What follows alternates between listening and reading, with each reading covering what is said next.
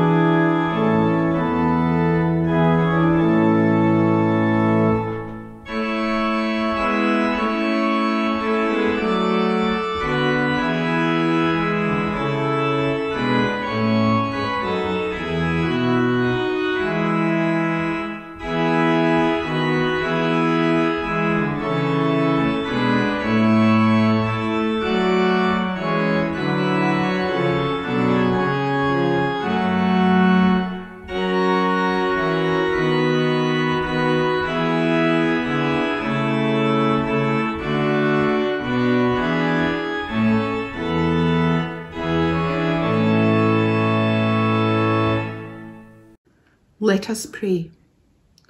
Strong, powerful God, loving, gentle God, we confess that we have such strange notions of strength and power, of gentleness and even love. It's as though we learned of these things apart from you, and then we tried to make you fit our conceptions.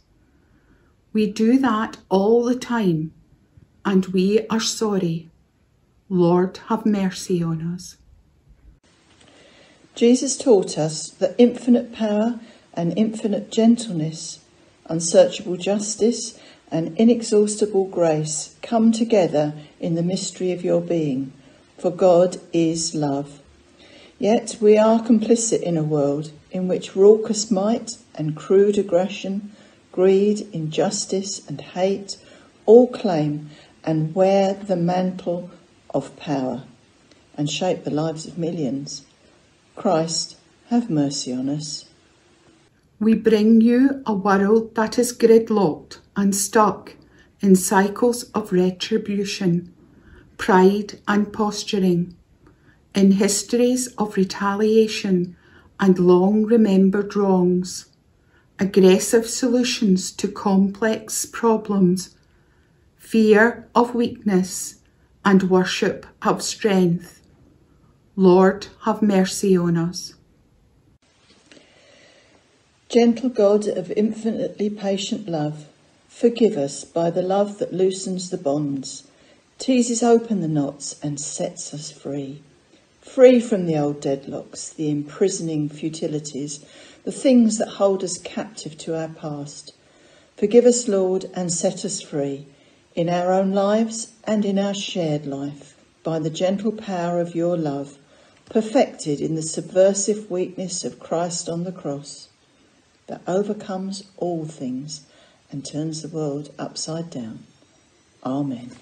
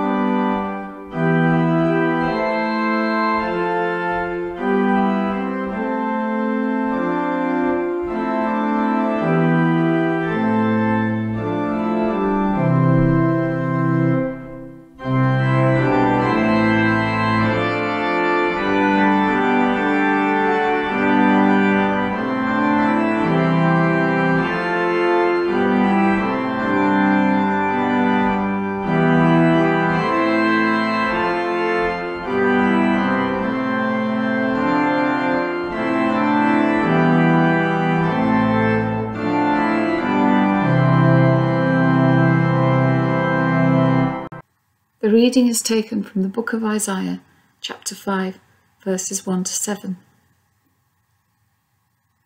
Let me sing for my beloved my love song concerning his vineyard. My beloved had a vineyard on a very fertile hill. He dug it and cleared it of stones and planted it with choice vines. He built a watchtower in the midst of it and hewed out a wine vat in it. He expected it to yield grapes, but it yielded wild grapes. And now, inhabitants of Jerusalem and people of Judah, judge between me and my vineyard. What more was there to do for my vineyard that I have not done in it? When I expected it to yield grapes, why did it yield wild grapes? And now I will tell you what I will do to my vineyard. I will remove its hedge, and it shall be devoured. I will break down its walls, and it shall be trampled down. I will make it a waste. It shall not be pruned or hoed, and it shall be overgrown with briars and thorns. I will also command the clouds that they rain no rain upon it. For the vineyard of the Lord of hosts is the house of Israel, and the people of Judah are his pleasant planting. He expected justice, but saw bloodshed, righteousness, but behold, a cry. It isn't just that the image, the figure, or the metaphor of the vineyard is speckled throughout the Old and New Testaments. It's the vineyard in the first two of our readings today from Isaiah, which we just heard, and then from the Psalms, is more than a figure or metaphor or image. In our reading from Isaiah, it's almost personalized, a character in a drama.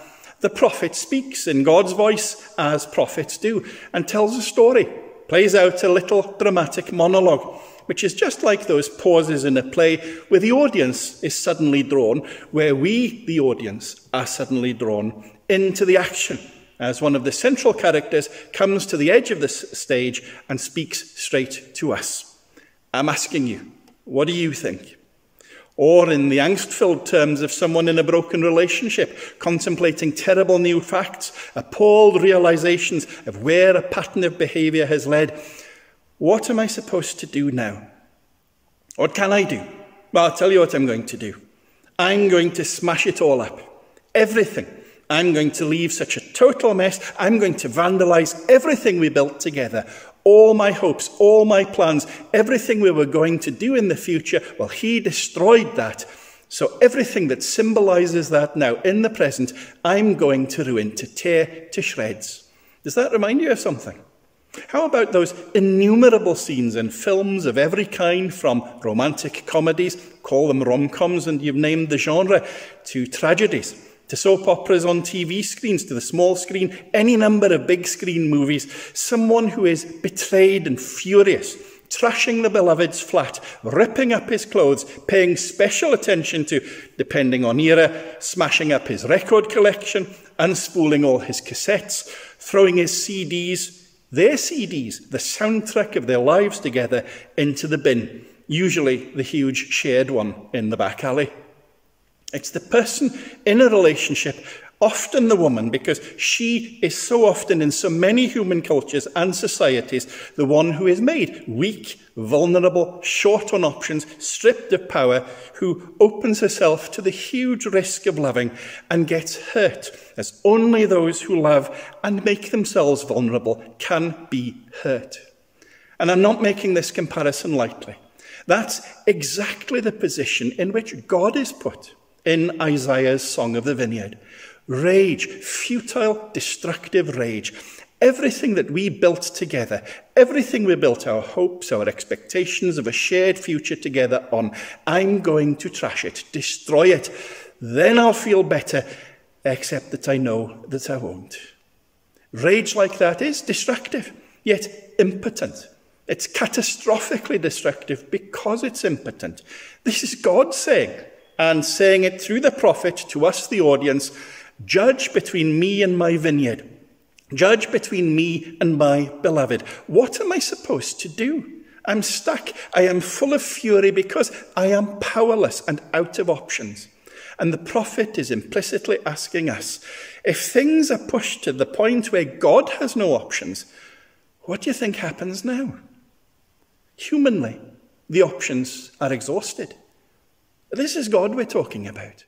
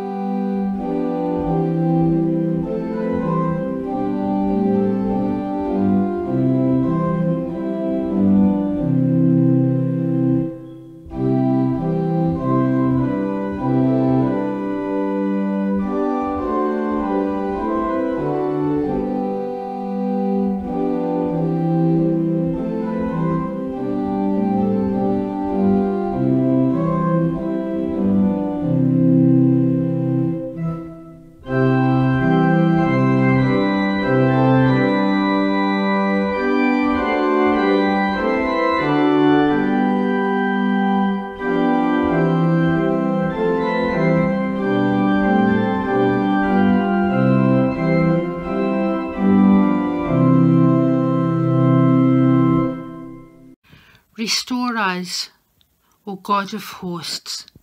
Let your face shine that we may be saved. You brought a vine out of Egypt.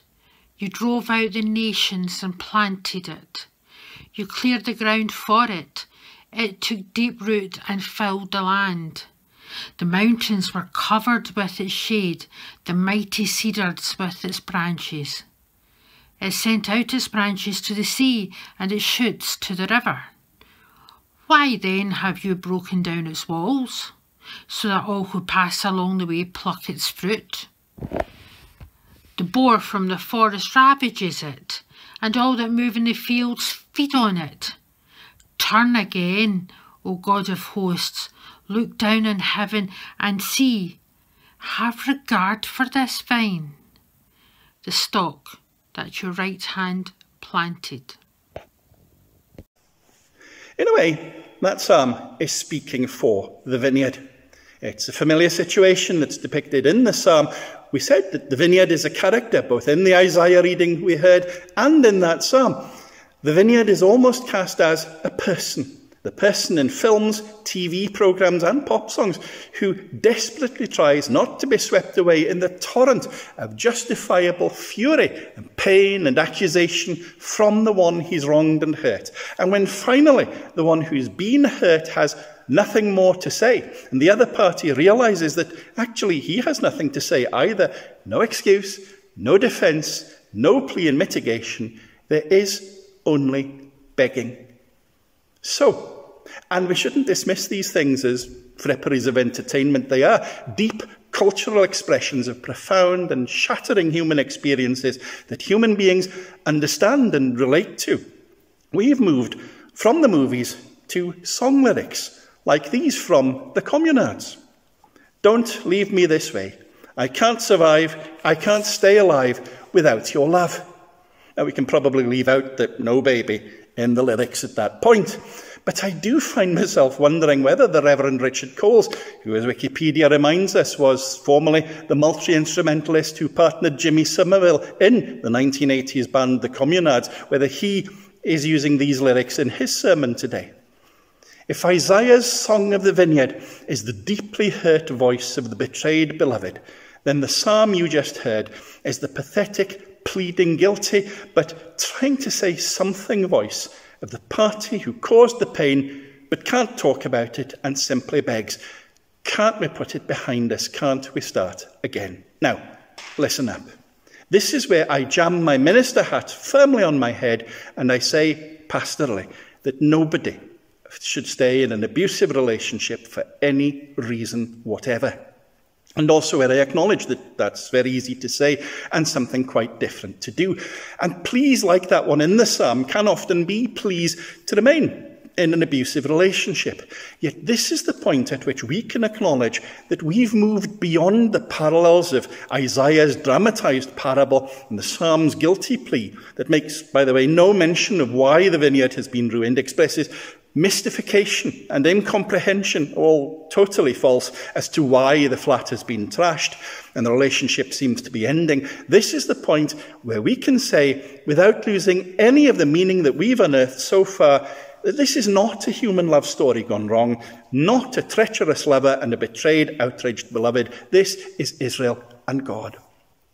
And what the psalm is saying, the way guilty parties often do, is I got us into this terrible mess. I may have destroyed what we had built together, but only you can get us out of this. Only you can save the relationship. And at that point, that's true. Only God can.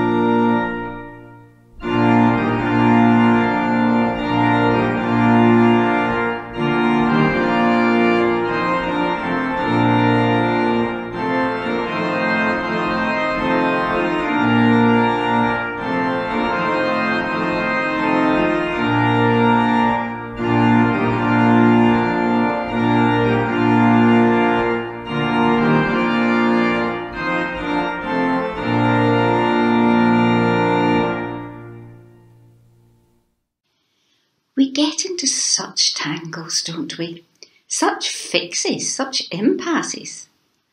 Consequences? Well, some of us are better than others at thinking through, at anticipating, at seeing that there are always consequences. Often, when we don't know what the consequences might be, that can be enough to rein us in, to get us to draw back. But there are times when our thinking is wishful, wishful, wishful. If wishing made it so, we say. When someone suggests a wonderful outcome, what if money came your way? What if you were offered your dream job? Oh, we say, if wishing made it so, because we know it doesn't. But sometimes we forget that, and sometimes we say, consequences be blowed. So we do the thing we want to do, the thing we can't call back. We find we've committed ourselves to something. Well, we say in our heads, don't we? Stupid, stupid, stupid. And perhaps we hear a reproving parental voice. Don't say that. It isn't nice to call anyone stupid. And the grumpy adolescent in our head says, I was talking to myself. And sometimes, instead of withdrawing from the folly that can't be salvaged, we double down, as the Americans mysteriously say. We brazenly, defiantly, recklessly reinforce what we just did, as though by dint of sheer will we can make the magical thing, our magical thinking conjured up, actually happen. And so we hear the parable Jesus tells the tenants who beat up the boss's man, kill the next one, try to kill the one after that. And we think that's insane. Who could ever believe that behaving like that would get you anywhere? And we're comforted because we think this parable is a million miles away from me. Is it really? The wishful thinking, is that not us sometimes? The pushing and pushing until we have pushed out to that place from which there is only humiliating retreat. The doubling down that makes the whole thing beyond solving, beyond mending. Is that not us sometimes? We get into such tangles, don't we? Such fixes, such impasses. And then we make it worse. Because the other party, the one we're defying so spectacularly, the grumpy official, the policeman who pulled us over, the owner of the vineyard, he's in a fix too. A dreadful fix. Our mad pushing and pushing and doubling down leaves him with no room to manoeuvre either. He has his authority to preserve. He has his status and dignity to maintain. He has his rules, and maybe not just his rules, to uphold. What's he going to do now? We drove him there, and now he's part of the stuckness too. We hear a parable about rebellious tenants and an absent landlord. It was two millennia ago, but strip away the time condition details, and it's a human situation we know. We've been there, or somewhere like it, as a spectator, if not a participant. Nobody can back down. Nobody can retreat. Everybody's stuck. Everybody's trapped. I'm reading from Matthew chapter 21, starting at verse 33. Listen to another parable. There was a landowner who planted a vineyard, put a fence round it, dug a wine press in it, and built a watchtower. Then he leased it to tenants and went to another country. When the harvest time had come, he sent his slaves to the tenants to collect his produce. But the tenants seized his slaves, beat one, killed another, and stoned another. Again he sent other slaves, more than the first, and they treated them in the same way. Finally, he sent his son to them, saying, They will respect my son. But when the tenants saw the son, they said to themselves, This is the heir. Come, let us kill him and get his inheritance. So they seized him, threw him out of the vineyard, and killed him. Now, when the owner of the vineyard comes, what will he do to those tenants? And they said to him, He will put those wretches to a miserable death, and lease the vineyard to other tenants, who will give him the produce at the harvest time.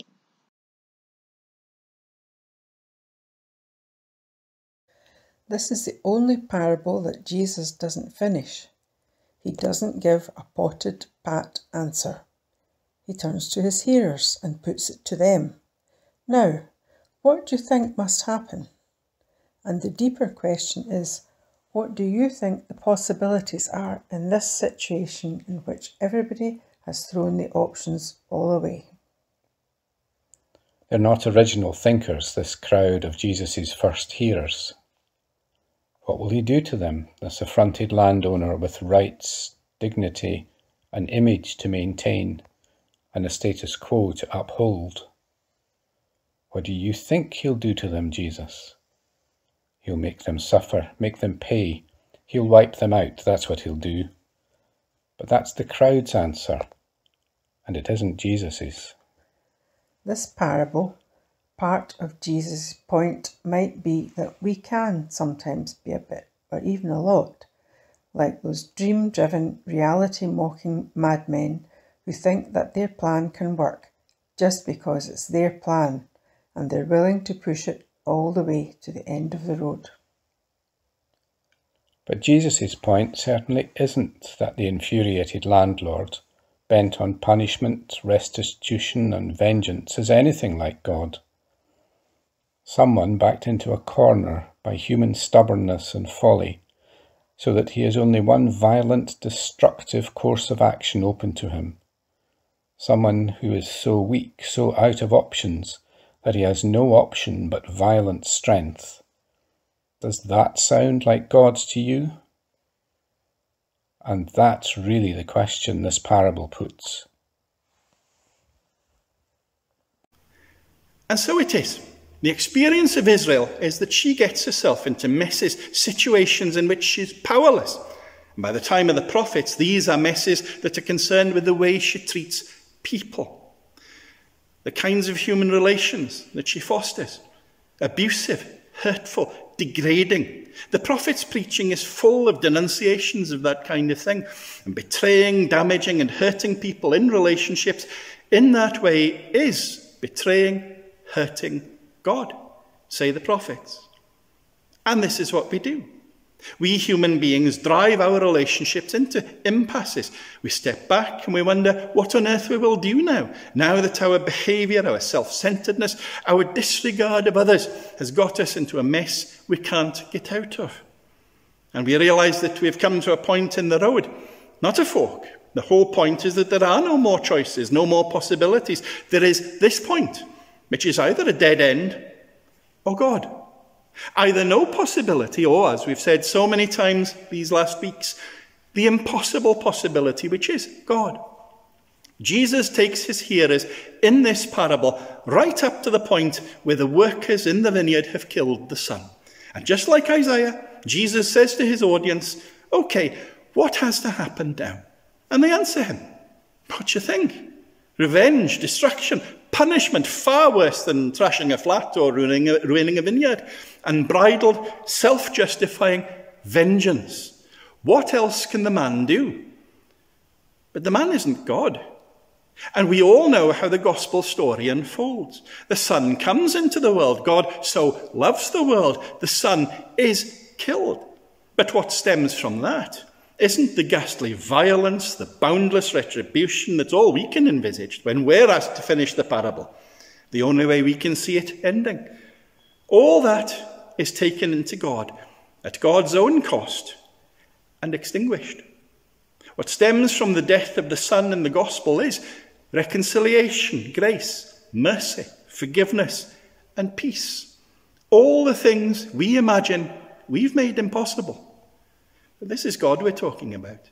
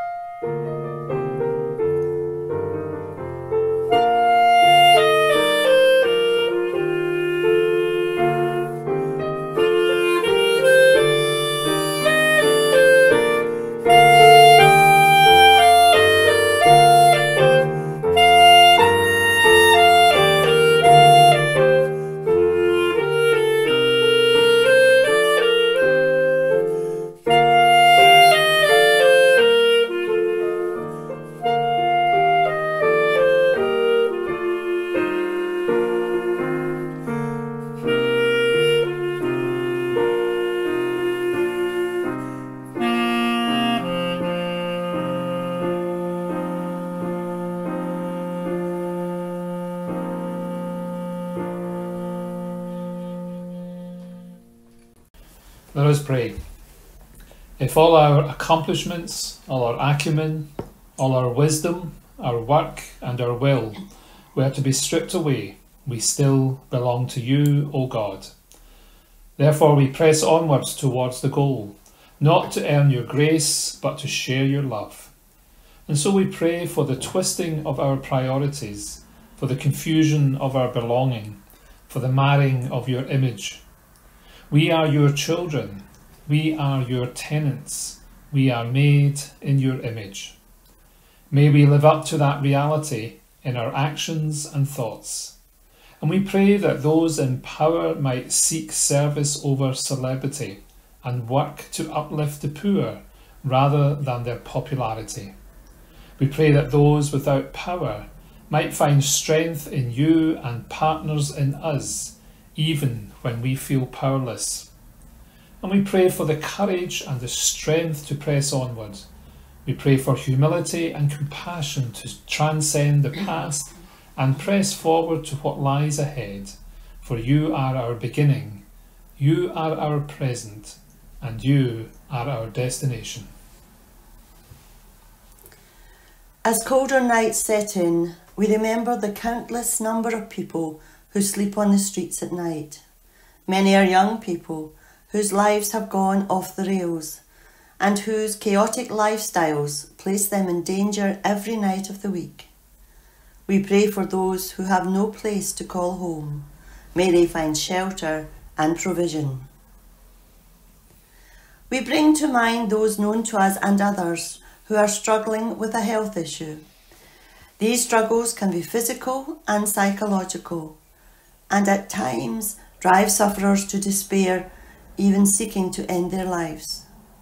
We remember those for whom the nights are the worst, when pain seems more intense and worries crowd in on them. We pray for those struggling with their own health or with the care of another. May they know healing, comfort, and support. Lord, alert us to those who would welcome a phone call or a friendly word to see them through the day. Help us to be aware of loneliness in our midst and encourage us to respond with generous love and a warm heart. Lord, we pray for those in our communities that are lonely, and may they know your presence. We bring to mind those of our friends who are no longer with us. May we never forget the memories we have of them and all that they mean to us. Keep fresh in our minds the memories that we store of them. For those in our midst who have experienced loss, may they know your comfort. May we as the Church be empowered by your Spirit to meet need where we find it, bring peace where we gather, show love and compassion to all we meet, and love you, Lord, with all our hearts, souls, minds, and strength, and love others as you have loved us. Hear us too, as we join with your church around the world and throughout the ages in saying the words that you first said with your disciples. Our, Our Father, who art in heaven, hallowed be thy name. Thy kingdom come Thy will be done on earth as it is in heaven. Give us this day our daily bread, and forgive us our debts as we forgive our debtors. And lead us not into temptation, but deliver us from evil. For thine is the kingdom, and the power, and the glory forever. Amen.